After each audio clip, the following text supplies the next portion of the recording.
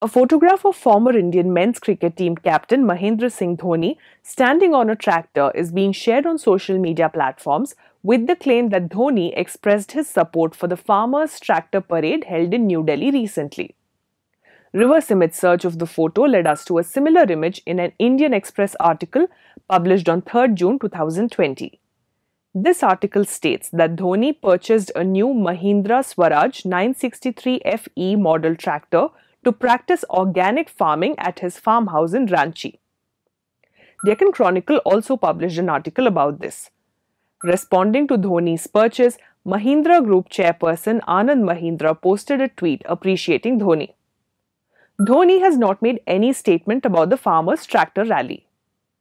As an old photograph of MS Dhoni inspecting his newly purchased tractor is being shared as his expression of support for the recently conducted farmers' tractor parade, this post is fake. When you come across a piece of news that seems too ridiculous to be true, don't leave things to doubt. Run searches on Google and Yandex and weigh out the true and false of the situation for yourself by looking at the facts. But first of all, before you hit that forward button, pause.